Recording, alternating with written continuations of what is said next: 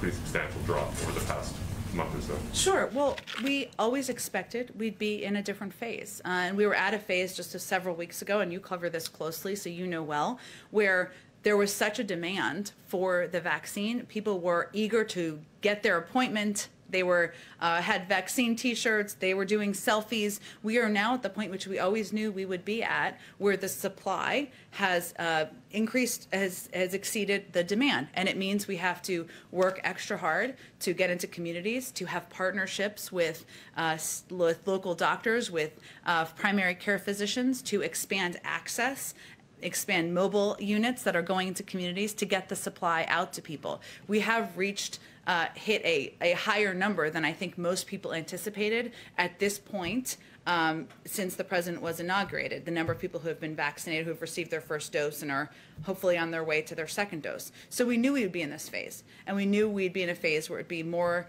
uh, difficult uh, because we need to increase access, which we've been focused on doing from the beginning, and continue to increase confidence. We have seen progress in both areas.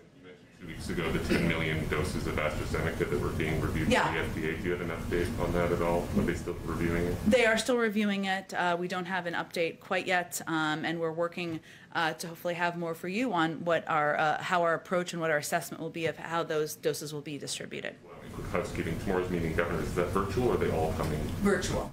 Virtual meeting. Yeah. Can you give us finally Yeah. a sense of whether you're considering easing travel restrictions, particularly to Europe or whatever, for Mm-hmm. vaccinated people? Where's the U.S. thinking on that? I don't have anything to preview on that at this point in time. Go ahead, David.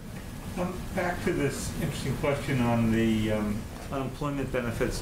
One suggestion the Republicans have been making is end those benefits earlier than the current plan, which I think is the end of September, and use that money to go into infrastructure.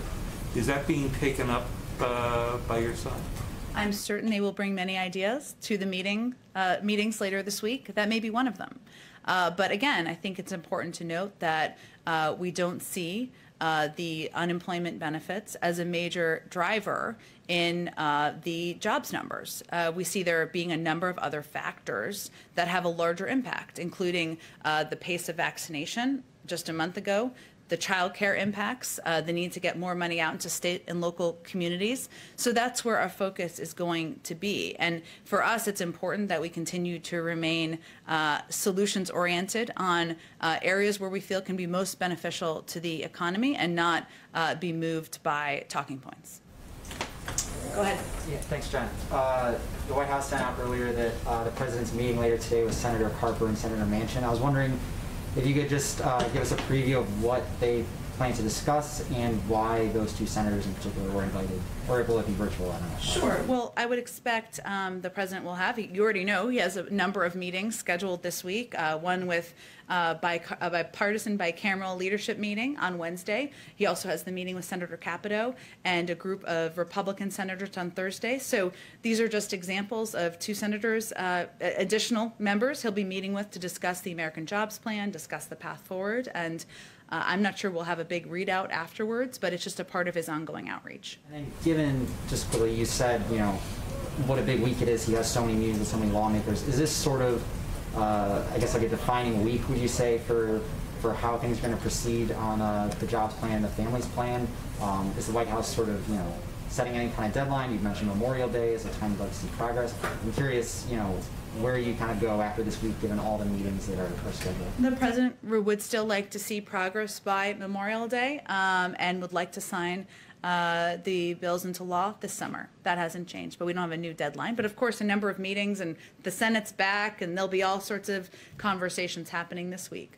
Sorry, Kelly, go ahead. Do you get a sense that, um, as the president's going to his first meeting with Kevin McCarthy here in Yeah. that, uh, that leadership meeting you talked about, obviously the House Republicans have some of their own internal matters going on. Mm-hmm. Does the president think any discord they are having has an influence or comes into the meetings that he will have with leadership? Does that affect how he views sitting down with them at all? No, the president knows that uh, there is some um, uh, introspection going on in the Republican Party right now, and uh, a determination about who they're going to be, who they want to lead them, and what they want to represent moving forward. Uh, he's not going to focus on that.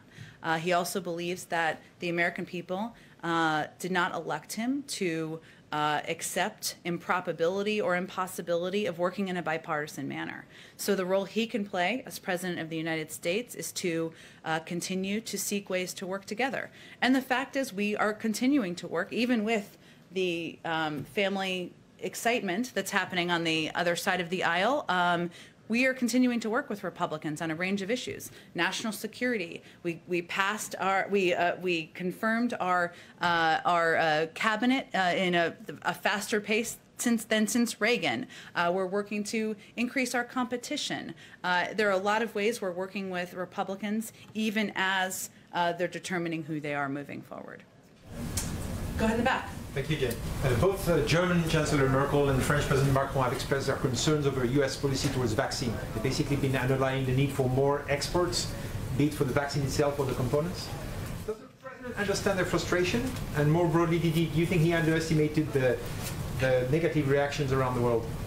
Well, let me first say that the president's commitment to a global COVID 19 response uh, has been steadfast and consistent since day one when we made the decision to rejoin the WHO. We understand that the border, the virus knows no borders, that it is important for the United States to continue to play a central role in addressing the global pandemic. We've invested more than any other country in COVAX, and we're pushing other countries to invest more in the program to get vaccines to developing countries. We're working to boost global production through partnerships like the Quad Partnership. Moderna and Pfizer have announced plans and intentions to increase supply and get it out to the global community. And of course, we've announced that we are going to uh, share 60 million doses, 10 million of which, as Josh uh, referred to or alluded to earlier, will be hopefully approved by the FDA soon. So there's no question we're playing a role. We will continue to play an increased role uh, in efforts to address the pandemic and get the pandemic under control.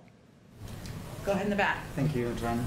Uh, speaking of uh, NATO's eastern flank, uh, the important part of uh, security system in the Central and Eastern Europe was supposed to be U.S. missile defense site in Poland.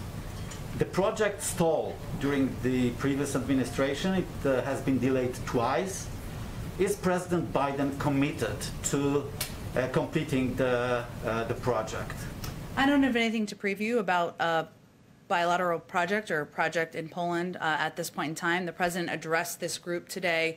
Uh, he provided remarks, obviously, a group of nine uh, countries, uh, so it was not focused on one particular country, even though I know the president of Poland was a co host of the event. Um, I can certainly follow up with our national security team and see if there's more to report. Go ahead.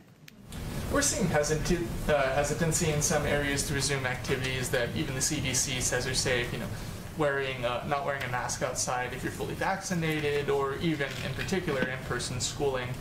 Does the administration have a strategy on helping cure those anxieties around the country and make sure that the reopening can go as smoothly as possible? The reopening of schools? Well, we actually saw data that came out just last week that showed more than 50% of schools are open five days a week, and that data is from March. So we're actually seeing increasing numbers as schools uh, receive the American Rescue Plan funding and as they apply the mitigation uh, measures. Uh, so I'm not sure, but was there specific data you were referring to, or? Not just the reopening schools, but mm-hmm. getting families confident that sending their children to those schools sure. is safe. Sure.